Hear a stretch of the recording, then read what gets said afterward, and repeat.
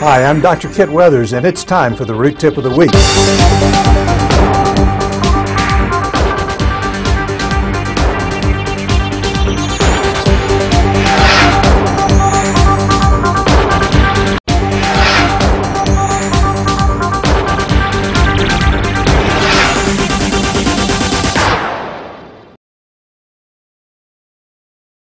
I'm going to try something that's very, very difficult.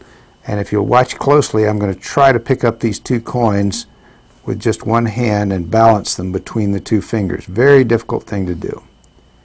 But surprisingly enough, you can do it. To learn the secret to this and other magic tricks in this series, go to endorootcamp.com. Once again, it's time for a few minutes with me, G.I. Joe. Okay, we're going to look at an evidence based review of some clinical studies concerning pharmacology. Just received the uh, August version of the Journal of Endodontics, which is a little disturbing because it's now September. But we had that same problem last month.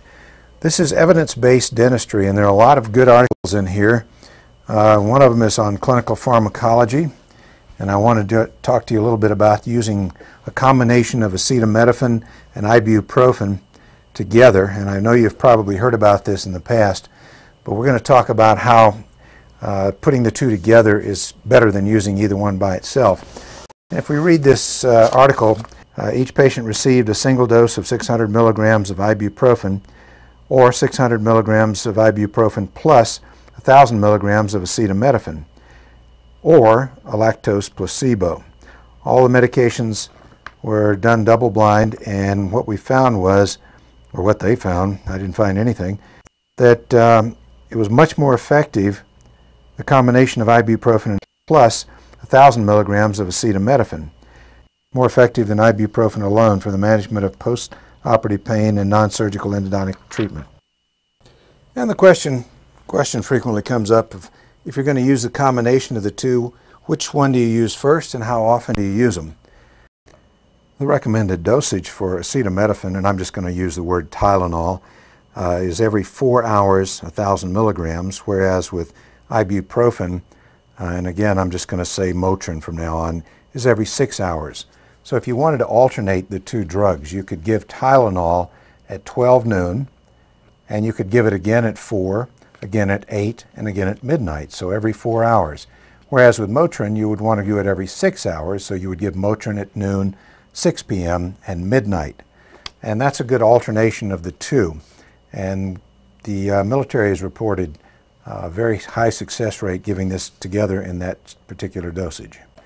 One more thing to keep in mind is that the manufacturers of Tylenol specifically do not recommend that patients mix these drugs without medical supervision.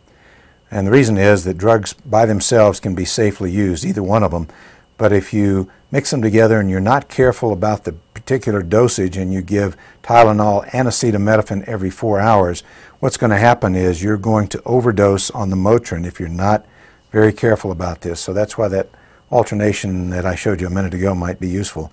But again, check with your physician. Make sure that uh, you don't have any contraindications. If you're taking other medication, be sure the other medication does not contain uh, similar products. You don't want any cross-reference to these particular materials.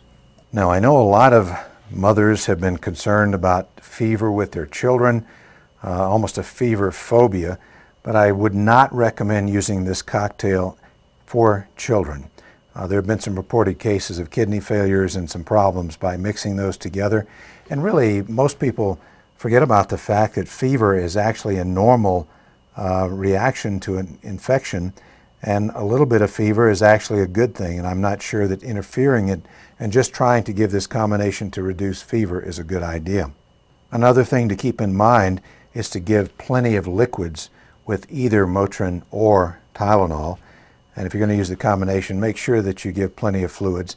Actually, giving fluids alone will lower the temperature one or two degrees in many cases.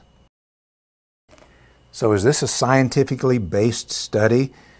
It's an evidence-based study, and there are a number of people in the article that talk about different aspects of the pharmacology in here, and I would recommend that you get a copy of this and read it for yourself. But there have been enough reports not only from the military but in the private sector as well, that this combination of Motrin and Tylenol given together or alternating, as we talked about a few minutes ago, uh, is very effective and better than either one by itself.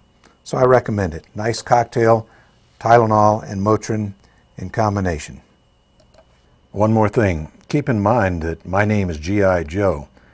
I'm not a doctor, I'm a soldier. So check with your personal physician to be sure that what I've told you is okay. Well, that's it for another Root Tip of the Week.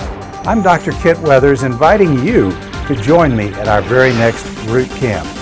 So long for now.